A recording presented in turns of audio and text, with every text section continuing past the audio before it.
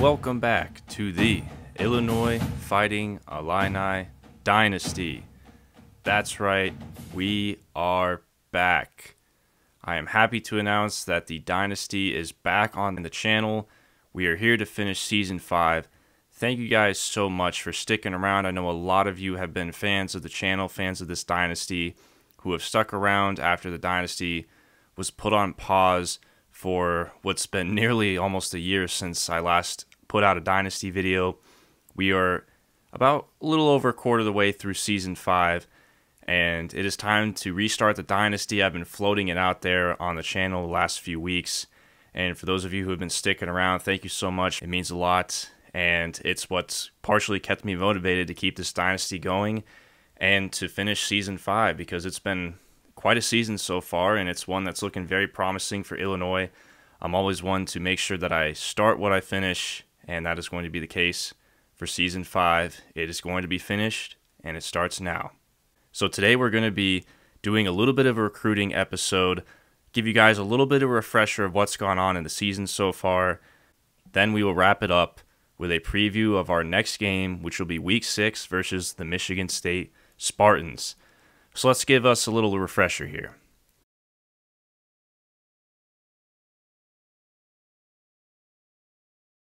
So Illinois started off the season with a convincing 27 6 win versus Coastal Carolina in the season opener at home.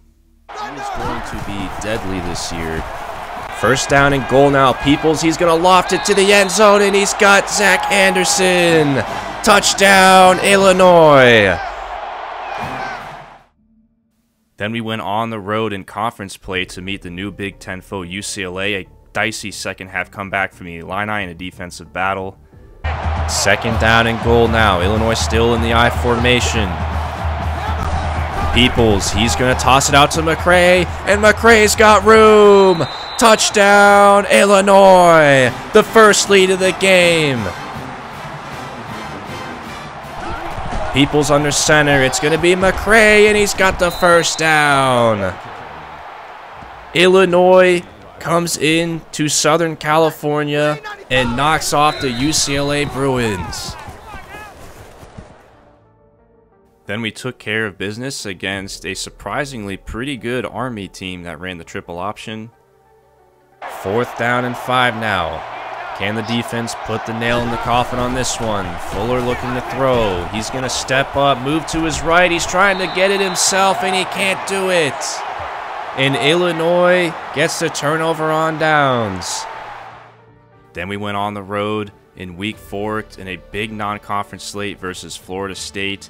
And Illinois had an incredible fourth quarter comeback, overcoming five turnovers to beat the Seminoles at Doak Campbell Stadium. About how good this receiving corps is for Florida State. They can go up and get it. This one is batted down and it's hauled in.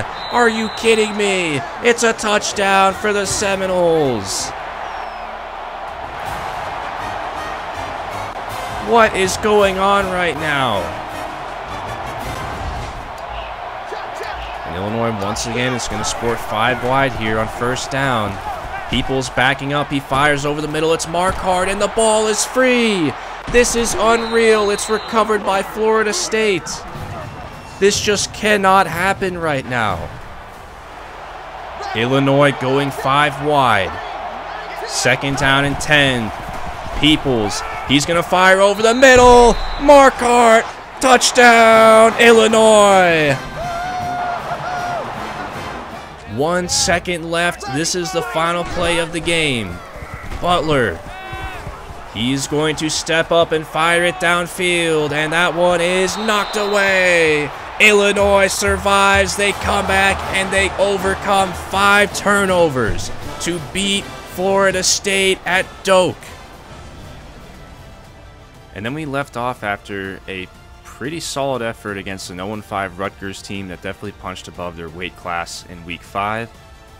Now this one is all but over. 20 seconds to go. Bass steps up and he's going to be sacked again. Get that man in an ice bath ASAP. Bass is sacked multiple times on this drive, and that'll be the ball game.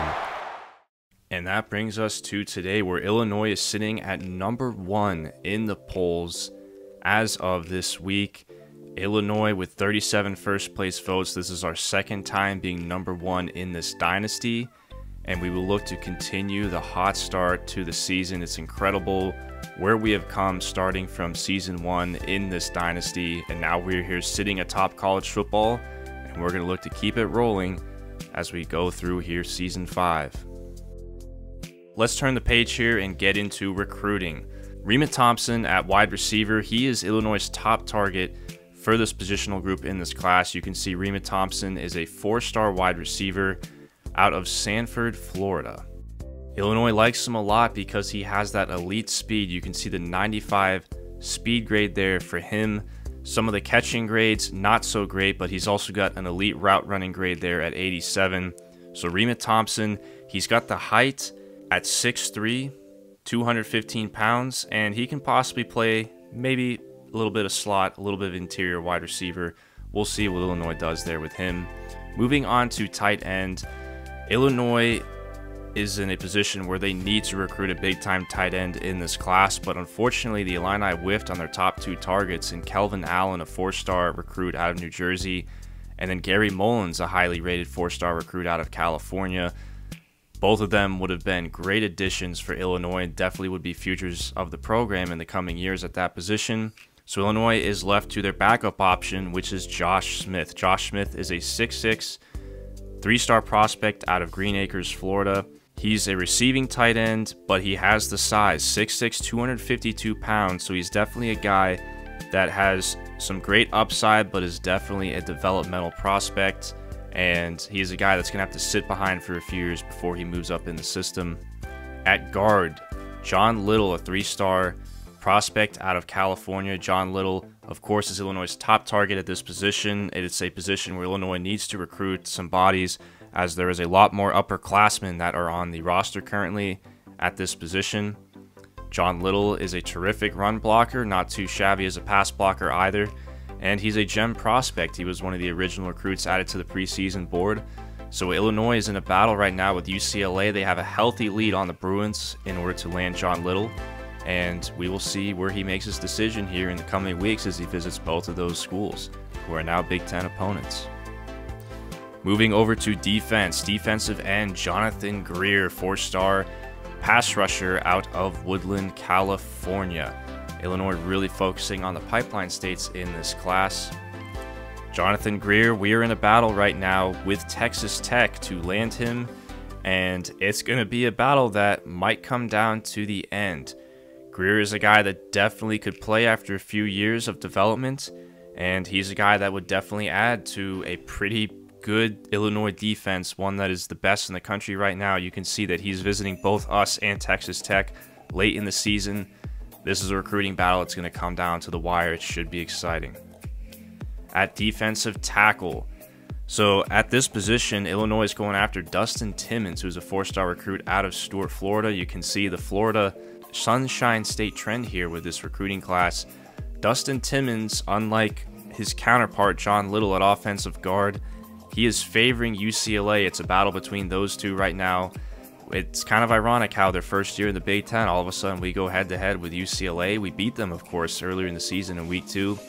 But unfortunately for Illinois, Timmons is favoring the Bruins, visiting both of those schools late in the season. But the good news for the Illini is that they've already landed their top target at this position in Frank Harris, who is a four star recruit out of Jollyville, Texas. He's a number 10 defensive tackle in the class, so Illinois is already pretty set at that position. Likewise, at outside linebacker, Chad Landrum was one of the first recruits to commit earlier this season out of Texas as well, so Illinois is sitting pretty there. And then at strong safety, Illinois went after Brandon Miller, a five star recruit out of Ormond Beach, Florida. You could see he's a 6'5 strong safety, a guy that's got an 81 overall grade. He was the number one recruit on Illinois' board for this class, and unfortunately, he committed to Texas. So even though Illinois was in the mix for Brandon Miller, a five star prospect, it's still schools like Texas that have the recruiting edge over Illinois despite the success of the school. So unfortunately, we are going to have to remove him from the list, but he would have been a guy that could have started next season had he committed to Illinois. So lastly, let's look at the athletes. Illinois is going after a plethora of athletes here. Let's start with Chris Johnson, four-star guy out of Jackson, Michigan. Johnson can play both running back or wide receiver. That's what Illinois is looking to play him at if he was to commit. And as you can see with those grades there and the fact that Johnson is a pretty high overall rated athlete, he is favoring Illinois very heavily. He is very likely to commit to the Illini in the coming weeks, so he would be a great addition to put at one of those skill positions for this recruiting class. Next, Steve Nelson out of Minnesota, another four-star four star prospect. Steve Nelson is a guy that can play a variety of positions. This guy is the true definition of an athlete. He's also a gem prospect, one of the original additions to the board.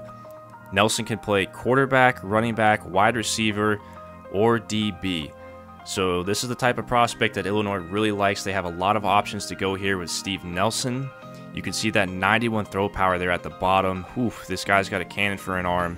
It'll be interesting to see what Illinois does with him if he even commits, because right now Wisconsin is the favorite to land him. Next, Brandon Fields. Brandon Fields is a guy that Illinois is really, really interested in. Even though he's just a 71 overall, look at the bottom, the throw accuracy of 85 there. Brandon Fields is a guy that can play quarterback, wide receiver, or defensive back, but Illinois envisions him being a quarterback. That 85 throw accuracy is rare for an incoming freshman. That is definitely a good grade to work with, and he's also 6'3, 225 pounds. This guy has to be a quarterback in this system if he is to commit to Illinois. So taking a look here at the pipeline states, I kind of briefly mentioned this earlier, Illinois is really focusing on maintaining their pipeline states and getting as many as possible for next year. So taking a look at the map, Illinois is kind of focusing outside of their home state, really going heavy in the states of Michigan, Florida, Texas, and California. Illinois is trying to maintain Florida and Michigan as pipeline states, in addition to add Texas as a pipeline state, which they are very well in the works of doing so with two commits from the Lone Star State already. So let's wrap this up with the Michigan State preview. I know a lot of you are anxious to get back into gameplay, and that'll be the next video up on the docket. So let's preview Illinois versus Michigan State. So the Spartans come into this game with a 4-2 record. They're undefeated in conference play at 3-0. They are, of course, a division opponent now with the realignment. And Illinois is going to be a healthy favorite in this game. After all, it is in Champaign. Michigan State, you can see that their defense a little bit higher rated than their offense, which hasn't put as many yards up per game as some of the more prolific offenses we've seen so far this year. Their quarterback, Tim Haynes, not a bad at touchdown to interception ratio there. He can also run a good bit. So overall, not really any eye-popping stats here from the offensive side of the ball for Michigan State. And taking a look at their schedule here, kind of a mixed bag from the Spartans. They lost by 20 points to Middle Tennessee State, who, yes, they are number two in the country right now. If you missed that from earlier in the video, yes, Middle Tennessee State is number two. I mean, they did beat Michigan State, who was 3 0 in the Big Ten by 20 points, so that says something. The Spartans then went on to beat number seven Nebraska, handing them their only loss. The defending national champions, they beat them then they lost to Louisiana Tech. I really don't understand what's going on here, but it's safe to say that Michigan State plays up to their opponents. You can see they also dubbed Ohio State at home by 20 points. So this is a Spartans team that plays up to their opponents and then they play down to their opponents. And unfortunately, if you're Illinois, when you have the number one next to your name there, you're likely to get Michigan State's best effort, and that's what I think Coach Steele and the players should expect from the Spartans, especially after last year when Illinois drubbed Michigan State 34 to nothing in East Lansing. So the Spartans are a team I fully expect to come into this game into Champaign with a chip on their shoulder. So there you have it. The next game against Michigan State is all queued up and ready to go. Thank you guys so much for tuning in, for watching this video. I'm so happy to bring the Dynasty back. It's been bugging me for a few months now. I've wanted to bring the Dynasty back, but I really have been busy with everything in personal life. Started a new job last summer. That's the primary reason why I had to put the Dynasty on pause in the first place.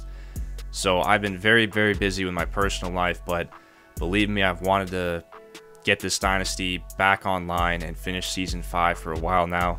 And I'm very happy now to be able to do that.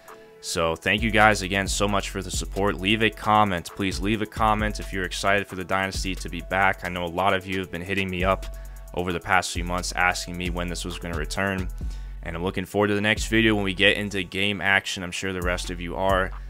Week 6 versus Michigan State. Number 1 Illinois with the home crowd behind their backs hosting a undefeated conference opponent. See y'all next week and have a great day.